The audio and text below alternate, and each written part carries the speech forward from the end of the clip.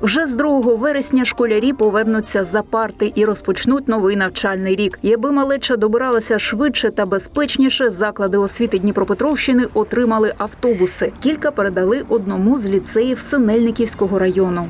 У нас на підвозі е, багато діток, які підвозяться із е, інших сіл до Манвелівки, до нашого ліцею. Тобто діток близько 50 чоловік, тому автобус це, це супер. У нас кваліфікований водій, е, звичайно, педагогічний супровід е, в автобусі. Директорка ліцею додає, ходити до закладу, а не навчатися вдома для дітей вкрай важливо, адже так вони можуть соціалізуватися. Тому автобуси допоможуть більшій кількості учнів дістатися з закладів освіти. Діти хочуть ходити до школи, однозначно. Вони хочуть спілкуватися. Для них живе спілкування це не спілкування за екраном комп'ютера. Загалом школам і ліцеям Дніпропетровщини передали 10 автобусів. Ключі від новенького транспорту отримали керівники закладів.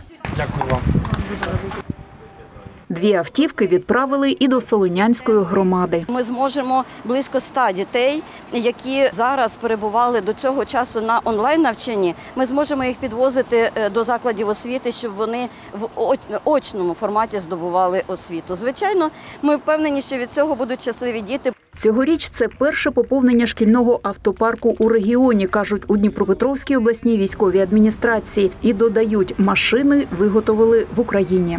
Передали 10 автобусів нашим громадам, які були придбані за спільні кошти, за державні кошти за місцеві кошти. Це в першу чергу зручні доставки і безпека дітей, і тим більше скажу, що автобуси власного українського виробництва. Це лише перша партія, зазначають в Дніпропетровській ОВА. Незабаром до різних громад області поїдуть ще 18 нових автобусів. Оксана Ващенко, Каріна Зейналова, Євген Гаценко, Open News, телеканал відкритий.